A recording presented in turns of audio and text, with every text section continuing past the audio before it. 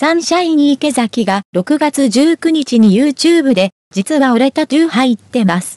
とぶっちやけ、ファンを驚かせた。池崎は5月放送の相席食堂、テレビ朝日系のラストで、頭髪と眉毛を剃った姿で登場して千鳥を爆笑させたが、子供番組、オアスタ、テレビ東京系、出演に眉なしで出演するわけにはいかず、眉のアートメイクを入れたというのが真相だった。池崎のタトゥーはメイクだったが、タトゥーを入れている芸能人も多い。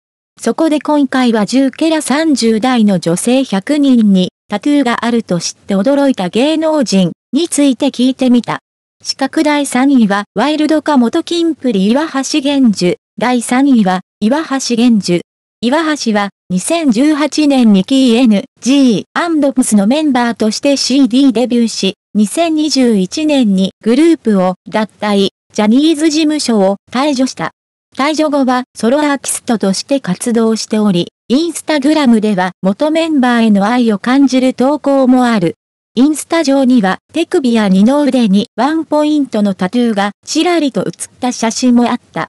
今年5月に投稿されたアディダス2023年最新 T シャツコレクションに関する投稿では、両前腕にバラの花やハートのタトゥーが入った姿があらわとなり、そのワイルドな姿が話題になった。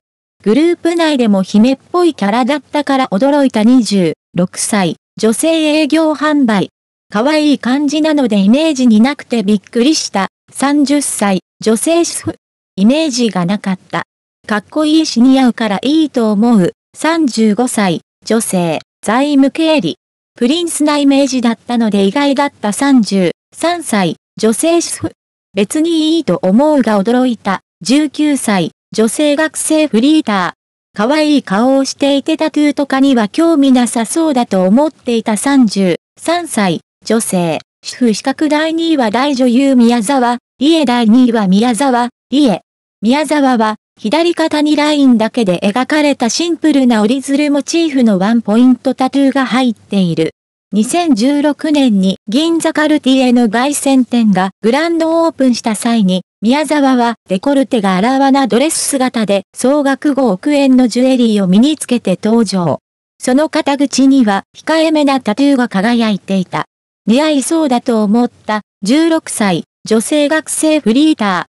イメージと違ってびっくりした31歳、女性主婦。清楚なイメージがあったが攻めている姿勢がかっこいいと思った27歳、女性主婦。かっこいいイメージになった39歳、女性主婦。清楚系のイメージの人でもするんだなぁと思った。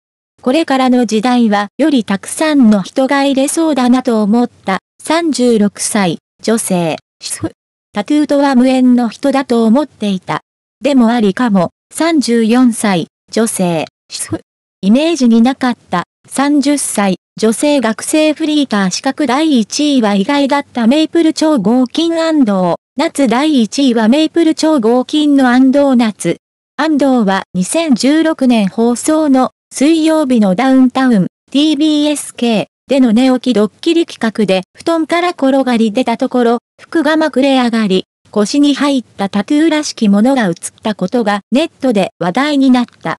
意外だとは思ったが特に印象が変わらない21歳、女性学生フリーター。ファンキーだなと思った24歳、女性パートアルバイト。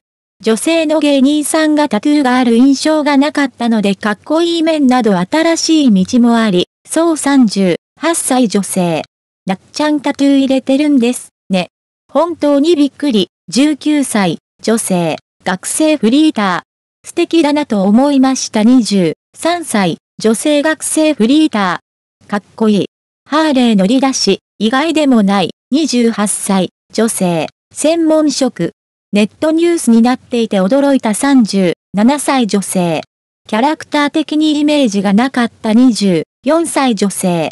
タトゥーを入れる人に派手なイメージがあるので意外だった32歳、女性専門職。イメージとのギャップで驚いた27歳女性。あのイケメン俳優もランクイン。タトゥーがあると知って驚いた芸能人。第4位以下はこちら。